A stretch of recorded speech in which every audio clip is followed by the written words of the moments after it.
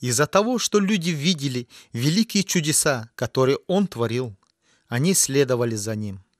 Он исцелял больных и учил о том, какой Бог. Он пришел освободить нас, достойных наказания грешников, от уз греха и ада. Но некоторые люди, как он обличал их, возмущались и негодовали. Иудейские священники завидовали Иисусу и ненавидели Его, не веря, что Он освободитель, посланный Израилю Богом. Схватив Его и издеваясь над Ним, они предали Его римским солдатам.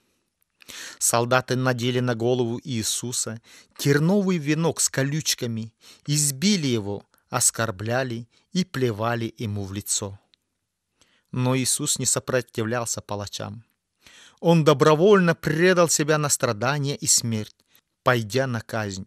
Иисус Христос взял на себя все грехи человечества, понес наказание за них, и через эту жертву Бог Отец оправдал всех нас.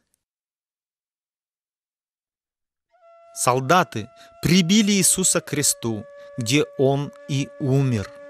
Это было самое страшное и позорное наказание для преступников. Но Иисус Христос, не сделав ничего плохого, отдал себя в жертву вместо нас. За наши грехи, за которые мы должны были умереть, то есть Иисус Христос взял на себя наказание, предназначенное нам. Враги Иисуса Христа радовались. Мы убили Его и избавились от Него. Но после распятия Его тело отнесли к гробницу, закрытую большим камнем. На третий день после этого женщины, пришедшие к гробу, увидели, что Иисуса нет внутри. Там были два ангела, сказавшие женщинам, «Почему вы ищете живого среди мертвых? Его нет здесь, он воскрес. Так Иисус победил смерть, забрав власть у сатаны, и сегодня Он жив. После воскресения многие ученики видели Иисуса, разговаривали с Ним, кушали с Ним. Один из его учеников, Фома, сказал, «Если не увижу на руках его ран от гвоздей, не поверю, что он воскрес». Сразу после этих слов Иисус явился всем и показал ему раны. Тогда Фома упал к ногам Иисуса и сказал, «Господь мой, Бог мой!» Иисус ответил, «Ты поверил, потому что увидел меня. Счастливы же не видевшие и уверовавшие».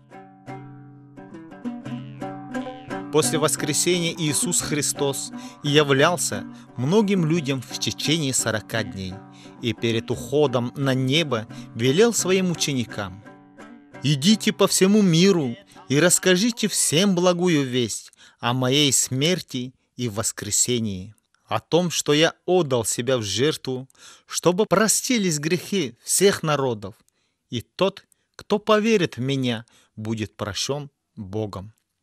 После этих слов ученики своими глазами увидели, как Иисус вознесся на небо, обещая, что однажды вернется. Сейчас Он рядом с Богом, Отцом на небесах, и готовит уверовавшим в Него место в Своем Царстве. Когда Он вернется на землю, все народы пристанут перед Ним, чтобы ответить за свои грехи. Готовы ли вы к этому? Поверите ли вы в Иисуса?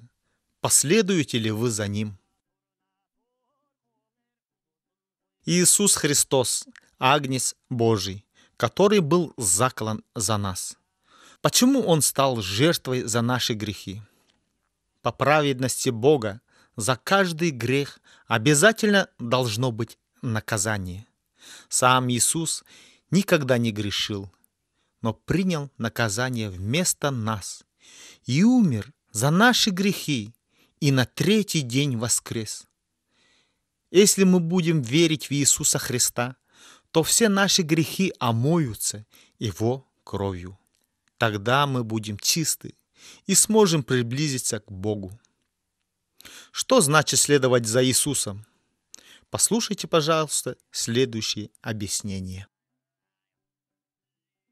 Иисус рассказывал притчу о двух путях. Много людей идет просторной дорогой, но она ведет в ад.